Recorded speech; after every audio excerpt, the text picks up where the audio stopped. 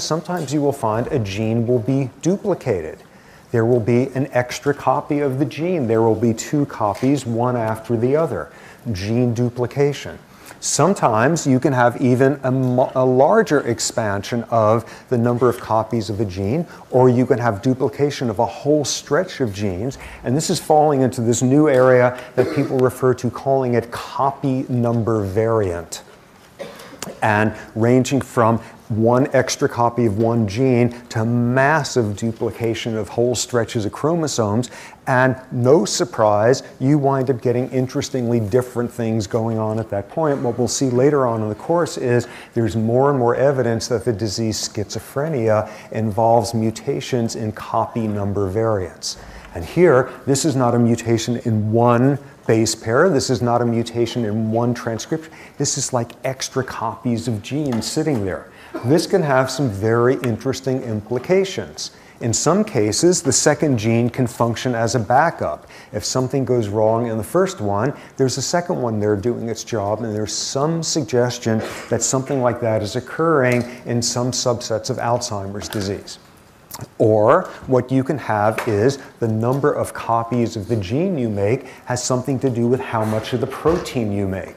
And there's recent studies showing that when you compare Japanese populations with Western European ones, on the average, Japanese populations have more copies of a gene that has multiple copies, more copies of a gene that makes an enzyme related to carbohydrate digestion. I have no idea what the implications would be of that, but this is not a populational difference in a DNA sequence or in a protein. This is simply the number of copies of a gene.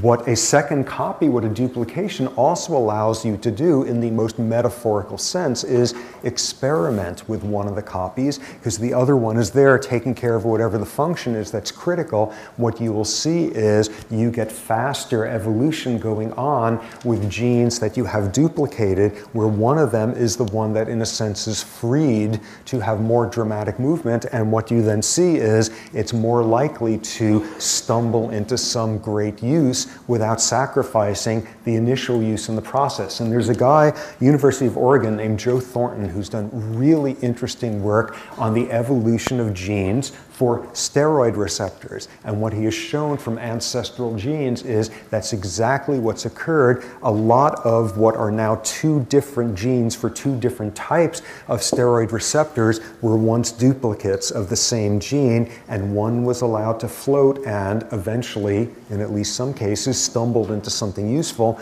while the other one held into place. In passing, what that phenomenon does is help explain one of the endless, frustrating, exasperating, irritating things that people who attack the notion of evolution bring up, which is the famed soundbite that they have of the problem of irre- irreproducible, irreducible complexity. It always runs the same way, which is saying evolution can't possibly exist because what good is half of an eye?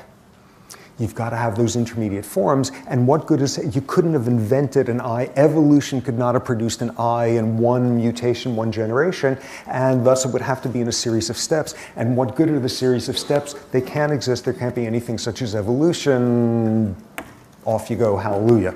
So, what you get here in these cases is a demonstration instead by having extra copies of genes, one of which is freed to be evolving. You don't have to have a rapid transition from one to the other. You can have this thing moving along, stumbling along until it just happens to come up with a shape of a receptor that just happens to be able to bind a hormone that stumbled its own way into existence 10,000 generations earlier, which because it was duplicated, it didn't matter that one copy was now of a form where there was no receptor on Earth for it until it happened to stumble into that. And there's more and more evidence that duplicated genes have, have a way of describing these intermediate states where you don't necessarily have half an eye, but instead you have the pieces ready in place there for when one thing suddenly pops up which completes the picture.